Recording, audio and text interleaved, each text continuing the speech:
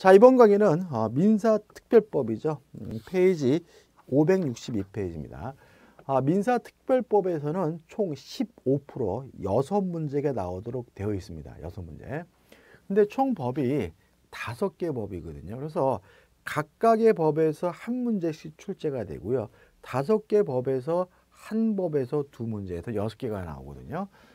그런데 어, 작년에 주택임대차보호법이 개정된 부분이 있습니다. 근데 작년에 개정된 부분이 우리 공인중개사 민법에서는 반영이 안 돼서 출제되질 않았어요. 그래서 올해는 이 주택임대차보호법 개정된 부분에서 출제가 될 거고요. 따라서 올해는 주택임대차보호법에서 두 문제가량이 출제될 것으로 보입니다. 그럼 이렇게 생각하면 되겠죠. 주택임대차보호법에서 두 문제, 나머지 법에서 각각 한 문제 출제가 될 거다라고 생각하시고 접근하시면 될 것 같아요. 자, 562페이지 보시면 주택임대차보호법에서 목적이죠. 자, 주택임대차보호법이란 주택, 주거용 건물에 관한 임대차를 특별히 보호하는 법이죠. 따라서 주택임대차보호법이 적용되려면 주거용 건물이어야 하는 거죠. 첫째, 주거용 건물인지 아닌지 여부는 형식적으로 판단하지 않고 실질적으로 판단하게 된다. 다시 말하면 건축물 대장에 나와 있는 형식상의 용도를 가지고 판단하는 것이 아니라 실질적으로 주거용 건물인지 아닌지 여부를 가지고 판단해야 된다는 것이 우리 판례 입장임을 주의하시기 바라고 두 번째 아, 임대차 계약 시를 기준으로 한다. 자 이게 무슨 말이냐면 어, 언제 주거용 건물이 되냐면 임대차 계약 당시죠. 따라서 어, 원래는 업무용 건물인데 개조해 가지고 임대차 계약 당시 주거용 건물로 쓰고 있다면 주택임대차보호법이 적용이 되고요. 그다음 세 번째는 일부가 비주거용으로 사용되고 있어요. 그래도 주택임대차보호법이 적용이 됩니다. 다시 말하면 건물의 전체가 다 주거용 건물이어야 하는 것은 아니고 일부가 비주거용 건물에도 주택임대차보호법이 적용이 되는 거죠. 그 다음 네 번째인데 적용 범위라고 있는 거죠. 자, 임차인은 자연인이어야 합니다. 따라서 자연인이라면 외국인에게도 주택임대차보호법이 적용이 돼요. 그럼 여기서 문제가 생깁니다. 주택임대차보호법의 중요한 내용은 뭐냐면 인도받고 주민등록을 하면 이길 날 뭐가 생기냐면 대항력이 생기거든요. 근데 문제는 어, 외국인의 경우에는 주민등록을 할 수가 없어요. 그럼 이 사람들은 무엇을 해야 이길 날 대항력이 생기느냐 이 문제에 대해서 우리 판례는 외국인 등록입니다. 여러 가지가 있지만 우리는 한 가지만 외국인 등록을 하면 이길 날 대항력을 인정합니다. 다시 말하면 자연인이라면 외국인이어도 주, 임차인이 외국인이어도 주택임대차보호법이 적용이 되지만 외국인은 주민등록이 아니라 외국인 등록을 하면 이길 날 뭘 갖습니까? 대항력을 갖게 된다는 거 주의하시기 바라고요. 그 다음에 임차인이 법인이에요. 그러면 원칙적으로 주택임대차보호법이 적용되지를 않아요. 왜냐하면 법인은 먹고 자고 살 수 없다, 어, 추구 활동을 할 수가 없는 거잖아요. 다만 예외적으로 법인인 임차인이 임차인이 법인인 경우에도 주택임대차보호법이 적용되는 경우가 있는데 기억하기 위해서 이렇게 기억하시면 될 것 같아요. 법인인 법인 임차인이 음, 주택 토지공사 주택공사랄까요? 아유, LH공사죠. LH공사거나 음, 아니면 지방공사인 경우에는 일정한 경우에는 주택임대차보호법이 적용될 수 있습니다. 자, 이게 무슨 말이에요? 이런 얘기예요. 자, 아파트가 있는데 이 아파트는 주거용 건물이잖아요. 근데 미분양 아파트예요. 정부가 어떤 생각을 하게 되냐면 LH공사 같은 지, 아, 공기업이 요 미분양 아파트를 임대를 해가지고 집 없는 서민들에게 싸게 전대를 해준다면 미분양 아파트 문제도 해결이 되고 집 없는 서민들에게도 도움이 되지 않을까 생각을 하게 되죠. 근데 문제는 이렇게 되면 LH공사 같은 법인이 뭐가 돼요? 임차인이 되잖아요. 그럼 만약에 요 법인이라는 이유로 주택임대차보호법이 적용되지 않는다면 요 공기업으로 전대한 서민들이 뭘 보게 되는 거죠? 피해를 보게 되는 거죠. 따라서 이런 형태의 경우에는 어, 법인인 임차인이 임차인이 법인이라 하더라도 주택임대차보호법이 적용된다라고 개정을 하게 되는 거거든요. 그래서 그냥 우리는 LH공사나 지방광수와 같은 공기업이 임차인인 경우는 주택임대차법이 적용될 수 있다. 이렇게 기억하시면 되고 그 다음 두 번째는 중소기업이 임차인 경우죠. 아, 이런 겁니다. 예를 들어 가지고 서울에 있는 중소기업이 부산에다가 지사를 만들면서 어, 그 부산 지사에 근무하는 어, 직원들의 사택을 위해서 주택을 임대했어요. 그러면 결국은 이 법인인 중소기업이 뭐가 돼요? 임차인이 되는데 문제는 뭐 삼성이나 LG 같은 대기업이 주택임대차 보호법에 적용되지 않아서 보증금을 떼인다 그래서 무슨 망할 일은 아니겠지만 중소기업이 만약에 주택임대차 보호법에 적용되지 않는다는 이유로 보증금을 떼이게 되면 중소업이 큰 타격을 받겠죠. 그래서 또 개정을 해서 이런 형태로 중소기업이 임차인인 경우에는 법인이 임차인이 법인이라 하더라도 주택임대차 보호법을 적용하고 있음을 주의하시기 바랍니다. 여기까지가 이제 결국 뭐예요? 어, 적용 범위가 되는 거죠. 자, 563페이지까지 나오시면 한번 보시면 될 것 같고 564페이지 오시면 뭐가 나오냐면 대표 예제가 나오죠. 자, 주택 임대차 보호법에 적용 대상이 되는 경우를 모두 고른 것은 기억, 주택이라면 무허가든 미등기든 따지지 않으므로 기억, 임차주택이 미등기인 경우 적용이 됩니다. 니은 번 임차주택이 일시 사용을 위한 것이 명백하게 밝혀졌어요. 예를 들어 가지고 뭐 펜션이나 뭐 이런 것들이겠죠. 그러니까 숙박 형태로 운영되는 경우에는 주택 임대차 보호법에 적용되지 않으니까 니은 번은 적용되지 않습니다. 디귿 번 사무실로 사용되던 건물이 주거용 건물로 용도 변경됐어요. 자, 임대차 계약할 당시 주거용 건물이라면 주택임대차 보호법이 적용돼야 되니까 디귿번도 적용이 되는 거죠. 1번 적법한 임대 권한을 가진 자로부터 임차했으나 임대인이 주택 소유자가 아니에요. 뭐 주택 소유자든 아니든 따질 필요 없이 적법한 임대 권한이 있다면 어, 주택 임대차 보호법에 적용돼야 되니까 답은 기억 띠을 리얼해 가지고 3번이 답이 되는 거죠. 자, 이제 우측에 보시면 존속 기간이죠.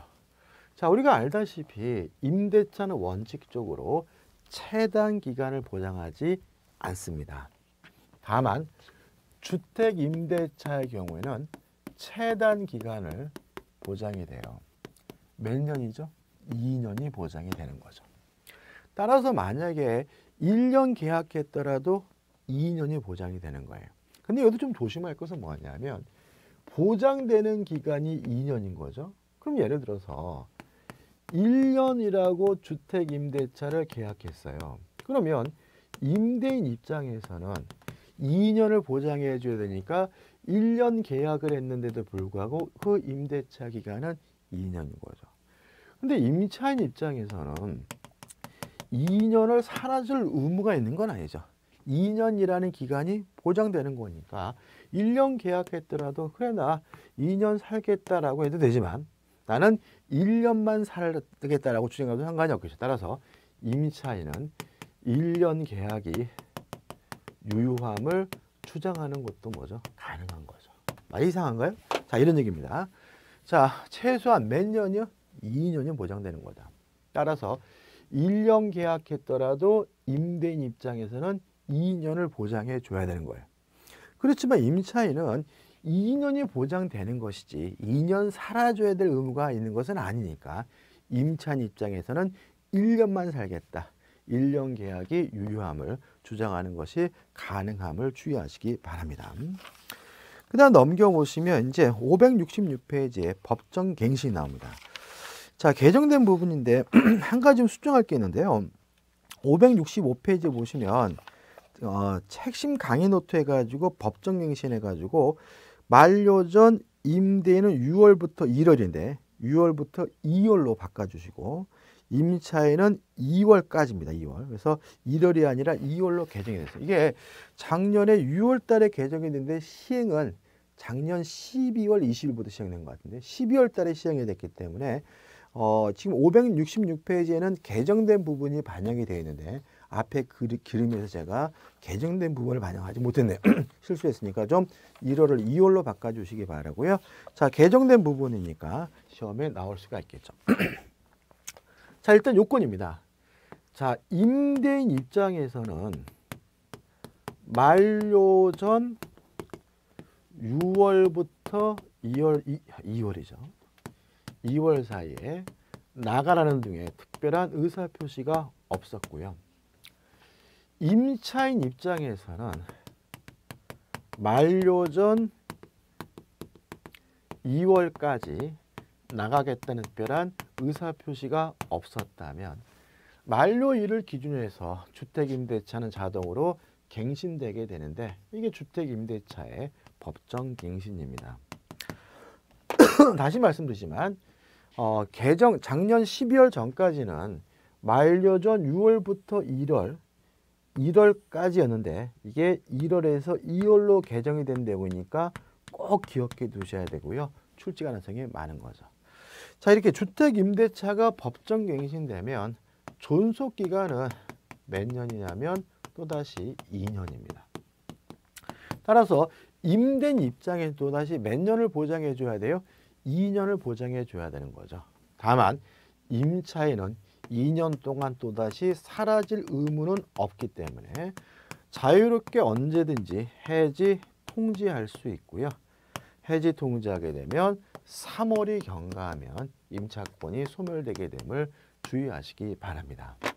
자, 요 개정된 부분도 있고 그 다음에 이제 중요한 것이 뭐냐면 자, 주택 임차인에게 계약갱신 요구권을 인정하고 있다는 거죠. 자, 계약갱신 요구권은 작년에 신설된 제도인데 작년에 시험에 출제되지 않았어요. 따라서 올해 반드시 출제될 것으로 보이니까 꼭 기억해 두셔야 됩니다. 자, 갱신 요건입니다. 첫째 기억할 것은 임차인은 임대인에게 언제 계약 갱신을 요구할 수 있느냐. 만료 전 6월부터 2월인 거죠. 그렇죠? 그러니까 만료 전 6월부터 2월 사이에 별말 없으면 자동으로 갱신되는 거고 또 아니면 만료 전 6월부터 2월 사이에 임차인은 적극적으로 한 번 더 합시다. 갱신을 뭐 할 수 있어요? 요구할 수가 있는 거죠. 두 번째 기억할 것은 몇 번 할 수 있느냐? 1회. 한 번 할 수 있습니다. 따라서 2년 동안 살고 2년이 만료되기인 6월부터 2월 사이에 계약 갱신 요구할 수 있고 이런 계약 갱신 요구에 대해 임대인이 거부하지 못하니까 이제 실질적으로 주택 임대차는 매년이 몇 년이 보장되는 꼴이죠? 4년이 보장되는 꼴인 거죠. 몇 번 할 수 있다고요? 한 번 더 할 수 있습니다. 1회 할수 있는 거죠. 그 다음에 세 번째, 이러한 임차인의 계약갱신 요구에 대해서 임대인은 원칙적으로 거부하지 못합니다. 다만 예외적으로 이러한 임차인의 계약갱신 요구에 대해서 임대인이 거부가 가능한 경우가 있어요. 중요한 부분이겠죠. 교재 우측에 보시면 다만 다음의 경우에는 임차인의 계약갱신 요구를 임대인이 거부할 수가 있다잖아요. 그죠? 자, 그래서 쭉 내용이 나옵니다. 실제로 1호부터 7호까지는 상가 건물 임대차 보호법하고 비슷해요. 그렇지만 꼭 기억해 두셔야 되는데 몇 가지만 기억하시면 돼요. 첫째, 이기 분의 차임을 연체한 사실이 존재하는 경우죠. 자, 월세를 사는데 그동안 이기분, 월세면 두 달치죠. 두 달치 차임을 연체한 사실이 있다면 어, 임대차기 만료될 당시에 연체 금액이 없다 하더라도 임차인은 임대인 아 임대인은 임차인의 계약갱신 요구에 대해서 뭐 할 수 있죠? 거절할 수가 있는 거죠. 그다음에 3호입니다. 서로 합의하여 상당한 보상을 제공한 경우죠. 자, 임대인이 임차인에게 상당한 보상을 제공했다면 임차인은 임대인은 임차인의 계약갱신 요구에 대해서 거부할 수가 없어요. 근데 여기서 좀 조심할 것은 요 상당한 보상을 서로 합의하에 해야 되는 거죠. 따라서 만약에 일방적으로 상당한 보상을 제공했다. X. 상당한 보상을 법원에 공탁했다. 그럼 X인 거죠. 자, 상당한 보상을 제공했다는 이유로 임대인이 계약갱신 요구에 대해서 거부하려면 뭐가 필요한 거죠? 서로 간에 합의가 필요하다는 거 기억해 두셔야 돼요. 사원은 너무나 당연한 것이고요. 그 다음에 어, 5입니다. 5. 5. 고의 또는 중대한 과실로 중과실로 임차 목적물을 일부 또는 전부를 파손한 경우죠. 뭐가 중요합니까? 중과실이죠. 다시 말하면 고의 또는 중과실로 파손한 경우니까 만약에 중과실이 아니라 경과실로 파손한 경우에는 임대인은 임차인의 계약갱신 요구에 대해서 뭐 하지 못하냐면 거부하지 못하게 됨을 주의하시기 바랍니다. 근데 6호는 너무나 당연한 것이고 7호죠. 자, 7호인데 7호에서 두 가지인데 첫째는 전부 또는 대부분을 철거죠. 자, 저건축, 재건축한다는 이유로 철거하게 되는데 재건축한다는 이유로 철거하는 경우에는 임대인은 임차인의 계약갱신 요구에 대해서 거부할 수 있는데 어디냐? 전부 또는 대부분이죠. 만약에 전부 또는 일부 그럼 뭐가 돼요? X입니다. 그 다음에 또 하나 조심할 것은 계약 당시 재건축 계획 등의 그 사실을 고시, 고지해야 되는 거죠. 자, 재건축해야 된다는 그 계획을 언제 고지했어야 되냐면 계약할 당시인 거죠. 계약할 당시에 재건축 계획 등을 고지했다면 임대인은 임차인의 계약갱신 요구에 대해서 뭐 할 수 있는 거예요? 거부할 수가 있는 거죠. 따라서 만약에 계약을 한 후에 재건축 계획을 고지했다. 그럼 뭐가 돼요? X가 되는 거예요. 여기까지는 상가 건물 임대차 보호법과 대단히 유사하고요. 다른 점은 상가 건물 임대차 보호법은 2기가 아니라 3기인데 얘는 몇 기입니까? 2기라는 점만 달라요. 나머지 것들은 유, 비슷해요. 근데 여기서 우리가 올해 시험 문제 답이 나오는 것은 결국은 뭐냐면 8호예요. 8호. 8호. 보시면 임대인 가로에 임대인의 직계 존속 직계 비속을 포함한다. 임대인이 목적 주택에 실제 거주하려는 경우죠. 다시 말하면 임대인이나 직계 존속 부모, 직계 비속 자식, 임대인의 부모 또는 자식이 직접 임대주택에 거주하려고 할 때는 아, 임대인은 임차인의 계약갱신 요구에 대해서 뭐 할 수 있는 거죠? 거부할 수가 있는 거죠. 그래서 실제로 우리가 이런 것들도 물론 중요하지만 이게 상가 건물 임대차 보호법과 다른 점이죠. 상가 건물 임대차 보호법은 이런 내용이 없어요. 근데 주택 임대차는 임대인이나 임대인의 부모 자식이 실제로 거주하려고 할 때에는 그때는 계약갱신 요구에 대해서 임차인은 뭐 할 수 있습니까? 아, 임대인은 뭐할 수 있죠? 거부할 수가 있는 거죠. 자, 그래서 여기 왔죠. 그죠? 자, 그 다음에 문제가 있어요. 임대인이 직접 거주하겠다고 해서 계약갱신 요구를 거부했어요. 근데 보니까 실제로는 임대인이 직접 거주하는 것이 아니라 다른 사람에게 재임돼 있어요. 다시 말하면 갱신되는 계약 기간 내에 타인에게 실제로 임대했다는 사실이 밝혀지면 요 임차인은 임대인에게 뭘 청구할 수 있냐면 손해배상을 청구할 수가 있어요. 그래서 교재 보시면 이 부분 중요한데 567페이지 하단에 마입니다. 마 보시면 임대인이 제1항 제8호 사유 즉 임대인이 목적 주택에 실제 거주하는 경우로 갱신을 거절하였음에도 불구하고 갱신 요구가 개지, 개, 거절되지 않았다면 갱신되었을 기간이 만료되기 전에 정당한 사유 없이 제3자에게 목적 주택을 임대한 경우 임대인은 갱신 거절로 인하여 임차인 입은 손해를 어떻게 해요? 배상해야 되는 거죠. 따라서 요 재계약되는 기간 동안 타인에게 임대했다는 사실이 밝혀지면 임차인이 임대인에게 손해배상을 청구할 수가 있어요. 자, 근데 손해배상이 어떻게 결정되냐면 셋 중에 큰 금액입니다. 그래서 이를 보시면 갱실 거절 당시 월 차임 아, 다시 말하면 환산 월 차임의 3개월분이죠.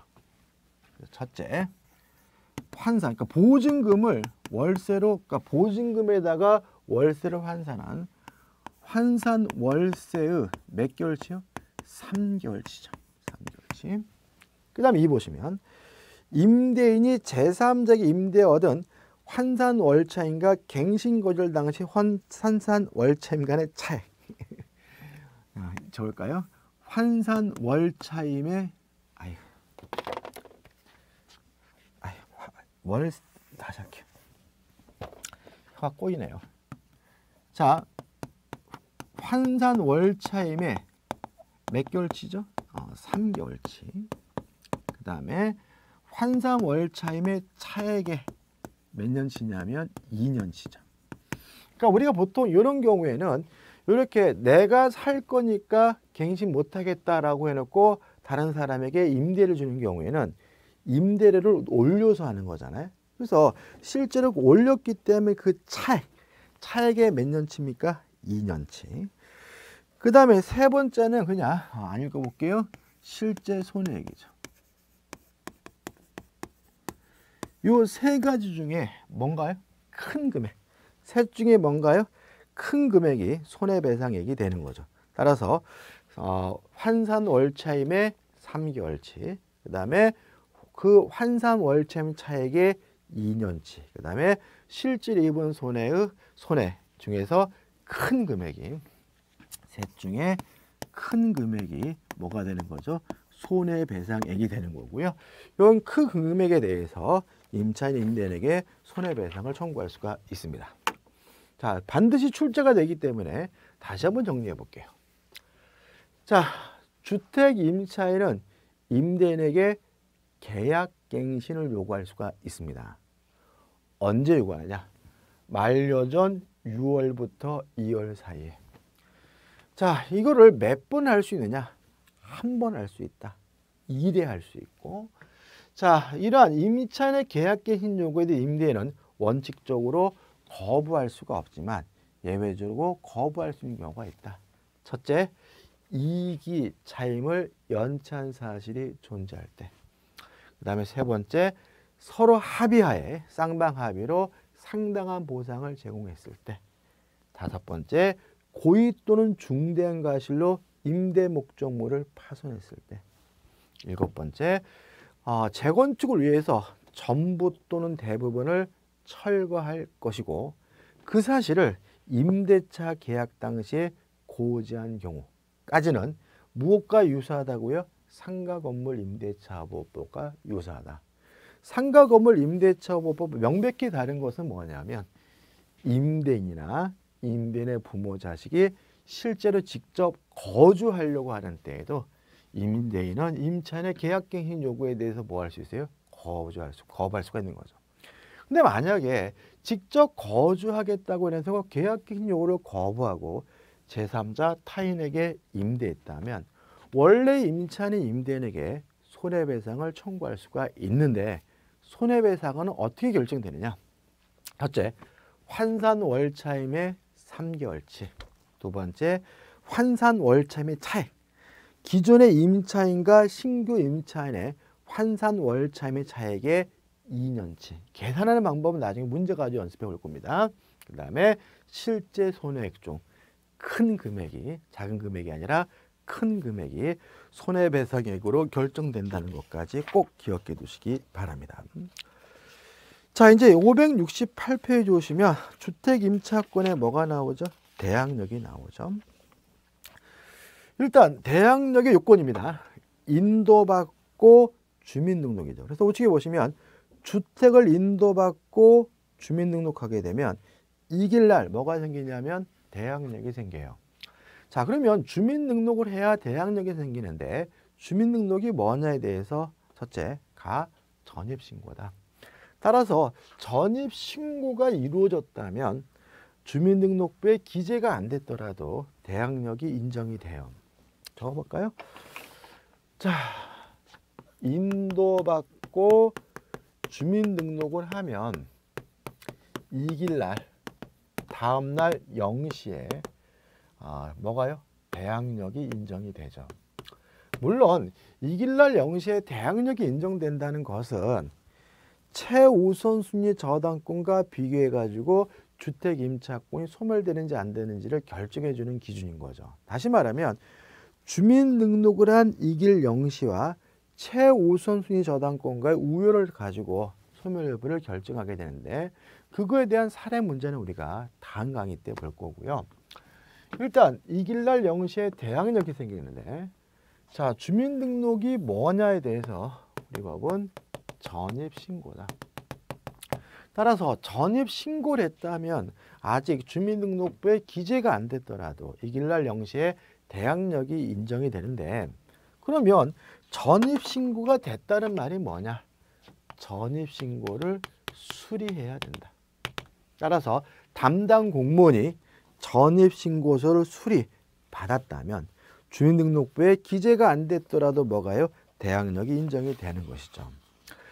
자, 그 다음에 조심할 것은 이 전입신고는 첫째, 임차인의 전 주민등록만이어야 되는 것은 아니고 가족의 전입신고 주민등록만으로도 대항력이 인정된다는 거 기억해 두시기 바라고요.